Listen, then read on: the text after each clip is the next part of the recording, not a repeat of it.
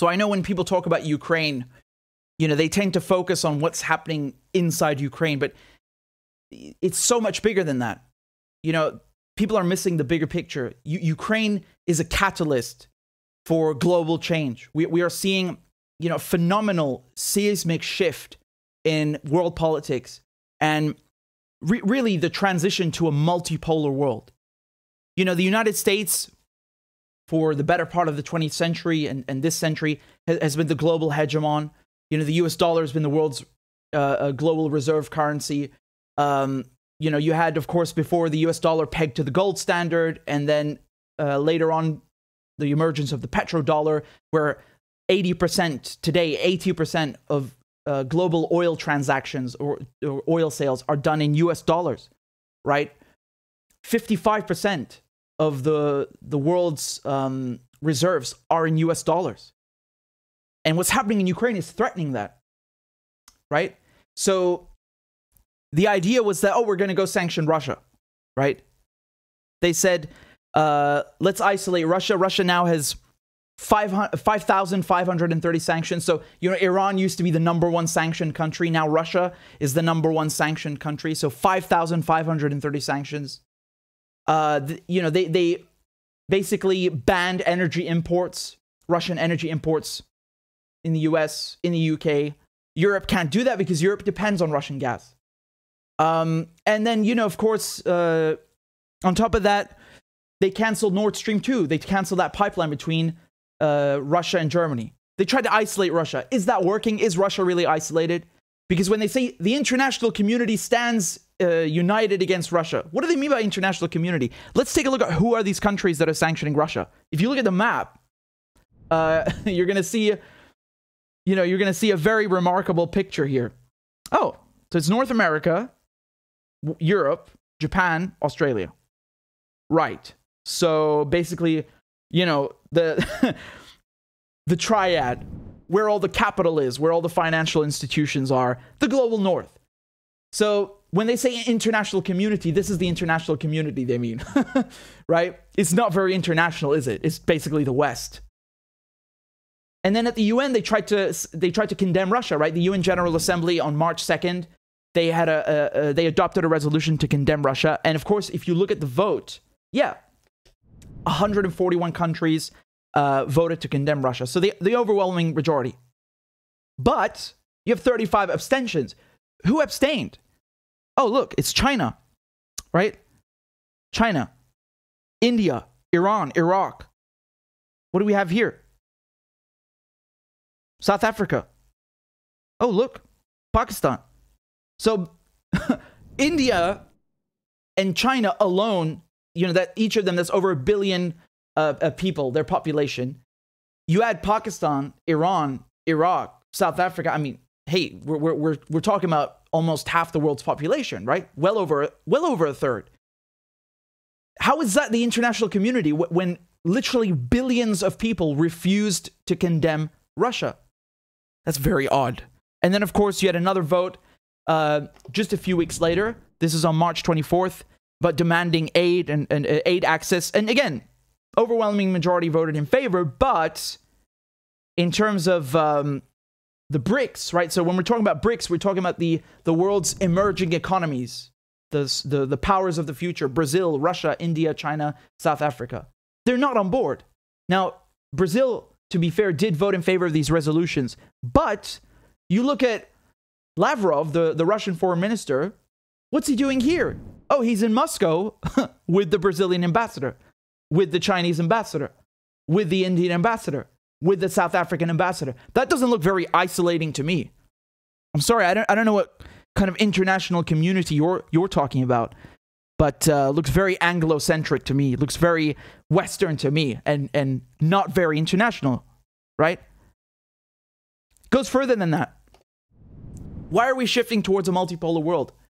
Politically, countries are refusing to fall in line like good little poodles and lapdogs for the West. They're saying, you know what, we have our own foreign policy. You are not going to decide our foreign policy. Imran Khan, Pakistan's prime minister, even told the Europeans, because the EU sent him a letter, you know, they wanted him to rebuke the Russians. He said, Are we your slaves? Are we your slaves? Very good question. I, uh, you love to see it. Global South countries standing up to the, to the West, don't you? Are we your slaves?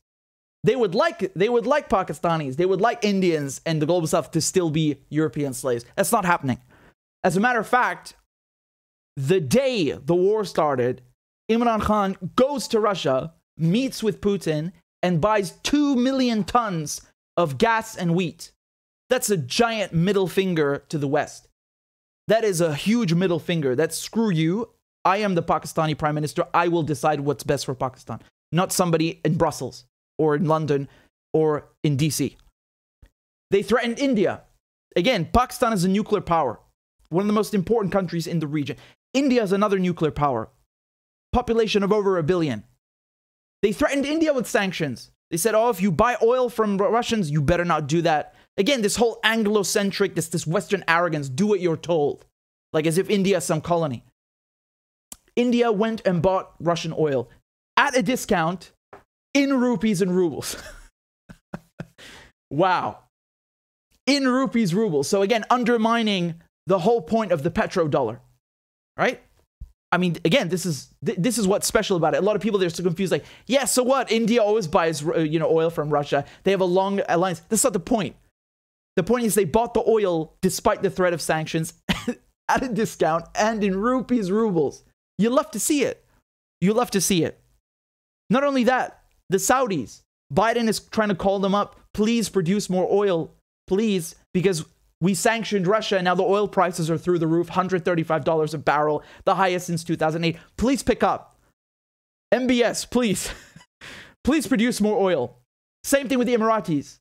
They won't take his calls. Your, when your client states refuse to take your calls, you know you're in trouble. So they refuse to produce more oil because, I mean, for their own selfish reasons, you know, apparently they want more help to kill Yemenis. That's another issue, which, again, I've covered separately. But they're not doing it. Not only that, Saudi Arabia is, te- is thinking of selling oil to the Chinese. Here it is, not in US dollars, in Chinese yuan, renminbi, in the Chinese currency. Wow. So we got the Indians buying Russian oil in rupees, rubles. Saudi Arabia might sell oil to China in the renminbi. I mean, this this is really bad news. If I'm in Washington D.C., if I'm in that crowd, I'd be very nervous right now. This is not good. This is really not looking good, right? And on top of that, you have the U.S. begging to get back in the nuclear deal. They've been, you know, dragging their feet the whole time. Trump rips up the deal. Biden dragging his feet. Now, all of a sudden, please, we want the nuclear deal. Why? So they can lift sanctions on Iran and Iran can put its oil back on the global market and lower the prices, right? And of course, you know, Russia at the last minute, because I'm telling you, I'm one of the only people covering the nuclear deal, and they were very close to signing it, but at the last minute, the Russians stepped in and they said, We want a written guarantee from the United States that when everything is back with the nuclear deal and you lift the sanctions on Iran, you won't put new sanctions on Iran for dealing, for trading with Russia right? So you threw this in at the last second. Now the Iranians, you know, they're, they're diplomatic about it. They, they don't blame Russia publicly. Uh, as a matter of fact, it's I, I they've made a deal together, you know, in back channels privately that they will wait until this Ukraine issue is resolved before the nuclear deal is signed. Because if they sign the nuclear deal now again, and keep in mind, Iran is in the deal, it's the US that left. If they get Iranian oil back on the market, the US can then screw Russia. Right now, Russia, Iran have the upper hand. Not only that, they've been telling us for years that Maduro is not the president. Apparently, you know, some people in, in Washington, D.C. and London decide who the president of Venezuela is. And they've been telling us Nicolas Maduro is not the president. We're going to take your gold in the Bank of England. Juan Guaido some guy that nobody in Venezuela has ever heard of. He's the president, apparently, right? 60 countries recognizing him. Now, all of a sudden, when there's no oil, the US is sending a delegation to get oil from Venezuela. And who are they speaking to? Juan Guaido? No, because he's not the man in charge. The patron is Maduro. He is the president, and he's the man in charge. That's why you talk to him and not to the puppet. And so Venezuela, which Bush sanctioned, Obama sanctioned, Trump sanctioned, and, and Biden is, is keeping that maximum pressure campaign going. Now they want Venezuelan oil all of a sudden. Now they want Iranian oil all of a sudden. It's looking very dangerous for the US right now. You have countries that are doing major energy sales in other currencies than the US dollar. And you have countries, you know, the US has sanctioned everybody. They got no friends left. This is this is what is called shooting yourself in the foot. They they thought, yeah, we're gonna come in and we're gonna be the big boss and we're gonna crap all over everybody and we're gonna isolate this one, isolate that one. Now you need them. Now you need them. And the Russians, they they they upped the ante. They said, you know what? Europe, you get 40% of your gas from us, from Russia. You're gonna pay us in rubles. You wanna sanction us and screw screw our currency? We're we're gonna make you drive shore up the currency. So every single day, the Europeans are sending between 200 to 800 million euros to Russia to buy gas. Right? 40% of their gas is Russian, a quarter of their oil from Russia. And Putin said, You don't pay in rubles, we turn off the gas. You don't go and make a ruble account at Gazprom Bank now, we will turn off the gas. So the Europeans think, no, we're not going to pay in rubles. Gazprom Bank is like, okay, you send the euros, we will convert them for you at the Moscow Stock Exchange. We will buy the rubles for you, driving up the demand of the ruble, and put them in another account in your name, and then send the payment to buy the gas. So whether you, the Europeans like it or not, they are buying that gas from Russia from a ruble account in their name. But Gazprom Bank does does it for them. Does you know takes the steps to, to complete the transaction for them, but it's in their name. Let's take a look at the Russian ruble. How are we doing? Oh, 84 to the dollar. So 18th of February, it was at 77 to the dollar. Now it's 84 to the dollar. So basically, it's regained most of its value since the war started. And that's, of course, the payments haven't even started yet. That's coming very soon and it will go up even further. I mean, what are the Europeans thinking, right? You get LNG, they don't even have enough terminals for that. so, do you see how we're shifting to a multipolar world? You have countries in the global south, the, the, the new economic powers, India, Brazil, you know, the, the BRICS, of course, and Pakistan and Iran. They, they are giving the finger to the, to the Americans. They're saying, not only are we going to continue dealing with Russia, we are also going to reject your foreign policy towards Russia, and we are also going to keep buying uh, resources from Russia, and we are also going to do that in another currency than the US dollar. and of course, we're not, we're not going to, the Russians are saying we're not even going to sell you gas anymore in dollars and euros. It's going to be in rubles, which they could have never gotten away with a month ago, right? Two months ago. But now, because the Europeans, they think that, oh, we're just going to sanction you into oblivion. The Russians like, you know what? You're, you're going to, we're, we're not going to pay um, uh, we're not going to give you any more gas for your currency. Not only that, this also makes sure that the money is in Russia. So instead of the Russians having an account in a European bank, the Europeans now have an account in a Russian bank. The money is also safe there. So they're helping to shore up the ruble. They're helping also uh, uh, to, to move gas and energy sales away from the US dollar to whether it's yuan renminbi or rupees or rubles. The, the West is shooting itself in the foot. So it was only a matter of time. It's only a matter of time before you know we move to a multipolar world. But the United States and the EU have basically shot themselves in both in both feet and sped up the process of de-dollarization and and the emergence of Greater Eurasia, the Belt and Road Initiative. You know, these countries, they, they're sick of, of being lapdogs for the West or, you know, be, being treated like lapdogs and falling in line. And they're now thinking that, you know what, we're not going to be stupid as the Europeans. The Europeans want higher food prices. You know, Aldi Nord in Germany is saying they're going to raise food prices by 20 to 50%, butter, sausages, meat. Uh, you, you can go do that to yourselves. You want to pay $4 a gallon for, for gas, you can do that to yourselves. You know, we're, we are not going to be stupid like you. Uh, Russia is our neighbor, uh, whether we like it or not. You know, that's, that's a reality.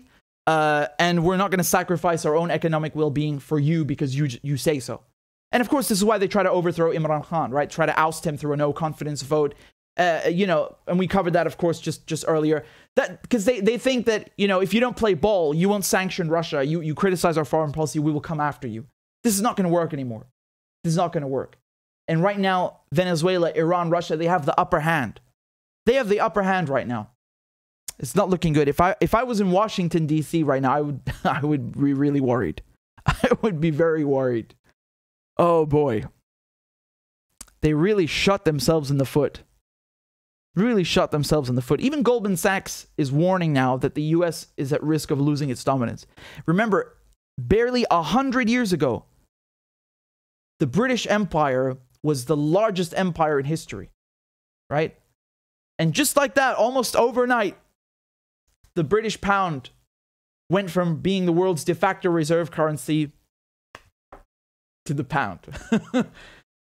Don't think that this can't happen fast. I'm not saying it's going to happen, you know, at the flick of a switch um, tomorrow morning, but they have certainly, certainly sped up that process. And this is why it's so important to see Ukraine um, for not, not just what's happening inside Ukraine, but to see Ukraine for what it is, which is a catalyst for global realignment.